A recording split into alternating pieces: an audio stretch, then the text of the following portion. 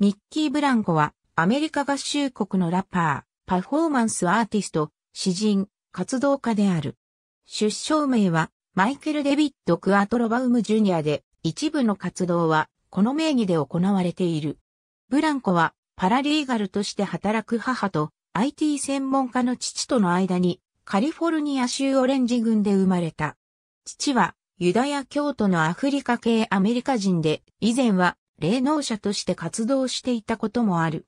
ブランコが2歳の時に両親は離婚。幼少期はカリフォルニア州サンマテオ郡で過ごし、8歳の時にノースカロライナ州に移住した。子供の頃からクィアっぽさはあったものの、家族や親戚には寛容に受け入れられた。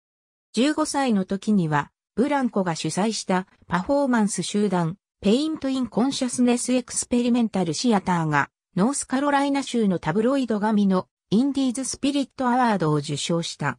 16歳でニューヨーク市に家出をし、エルの姉妹市だったエルガールでインターンシップをする。その後、カリフォルニアの祖父母のもとで高校を卒業した後、全額支給の奨学金を得て、シカゴ美術館附属美術大学に通ったが、2期後の2006年には中退した。この時、シカゴのノイズ、パンクシーンに触れたことが後の大きな影響になっていると語った。その後、ニューヨークのパーソンズ美術大学にも短期間在籍した。2014年、ブルックリン、グラスランズギャラリーでの講演。2010年にアートプロジェクトとしてミッキー・ブランコというキャラクターで動画を作り、YouTube で公開した。動画では、ティーンエイジャーの女子学生という設定で、ブランコはこの時に人生で初めて女性的な格好をした。ミッキー・ブランコという名前の由来はラッパーのリル・キムが持つ別人格、キミー・ブランコをもじったものであるが、当初はラップをする設定ではなかった。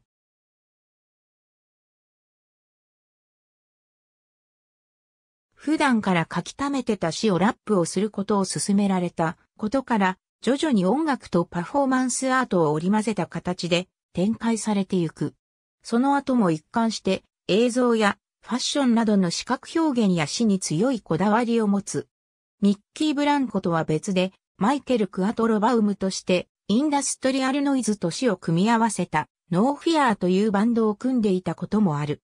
2012年には、ミッキー・ブランコ名義で初となる EP、マイケイ・ブランコザ・ミュータント・エンジェルスをリリース。2016年には、デビューアルバム、マイケイをリリースする。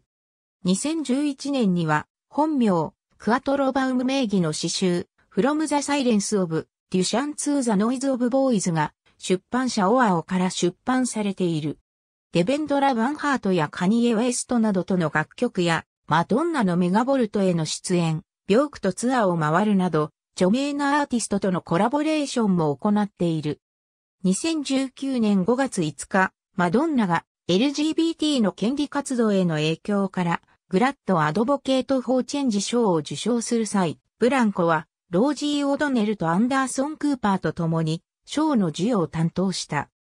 ブランコが影響を受けた主なアーティストとして、リル・キム、ジージー・アリン、ジャン・コクトー、ローリン・ヒル、リアーナ、マリリン・マンソン、アナイス・ニンなどが挙げられる。また、パンクカルチャーから派生したクイアムーブメントであるクイアコアやパンクフェミニズムムーブメントであるライオットガールにも大きく影響を受けた。中でもブルースラブルースや現代美術家でドラーグクイーンでもあるバギナル、デイビスなどが強い影響として挙げられる。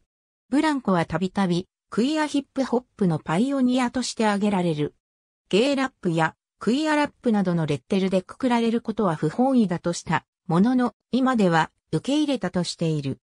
また、ブランコのことをドラッグパフォーマーと呼ぶことに対しては、人生で一度もボーギングしたことなんかない。私のバックグラウンドはパンクとライオットガールだと否定している。他のアーティストを引き合いに自身のアーティスト像を語ることも多く、マリリン・マンソンや他のラッパーでなく、むしろ、小野洋子のようになりたいと表現した。またブランコのデビューアルバム、マイケイはもともとマイケル・ジャクソンから取ったマイケルとつけるつもりだった。ブランコはアーティストとしてのペルソナであるミッキー・ブランコとアーティスト活動外での自身の共通性を何度も強調し、ステージ上でのフェミニンなジェンダー表現は自身のジェンダーアイデンティティと連携しているものだとしている。女性的な装飾をまとうことも多いミッキー・ブランコの表現は異性層としてのドラッグパフォーマンスではなく、自身のジェンダー探求の一部だとしており、ステージ上での表現が時期によって違うのも自身における変化の表れだとしている。もともと自身のことをゲイだと認識していたが、ミッキー・ブランコというキャラクターのために初めて女性層をする。動画撮影のためにたびたびミッキー・ブランコの格好をしている中、ある日突然、キャラクターが第四の壁を破ったと言い、初めて女性層のまま部屋を出る。その時はまだトランスジェンダーという用語が浮かんだわけではないが、女性層で街に出て、ただゲイなだけじゃないと認識したと言い、後のインタビューで、あの日が私の人生を永遠に変えたと語った。ブランコのジェンダーアイデンティティやジェンダー表現は流動的であったが、2019年には自身がトランス女性だと発表した。それまではトランスフェミニンであると表現することもあり、過去には自身のことをシスゲー男性であると表現したこともあったため、男性代名詞が使われていたこともある。現在は自身を称する代名詞は女性代名詞かジェンダーニュートラルな代名詞を使っている。2020年にはホルモン療法をはじめトランス女性であることをインタビューで語った。活発なトランスジェンダーの権利活動家として知られる。2015年、自身の Facebook ページを介して、2011年から HIV 陽性であると明らかにした。当初は音楽業界における根深い HIV 陽性者に対するスティグマにより、公表後もミュージシャンとしてのキャリアを続けられるとは思わなかったとしているが、最終的に公表することにした。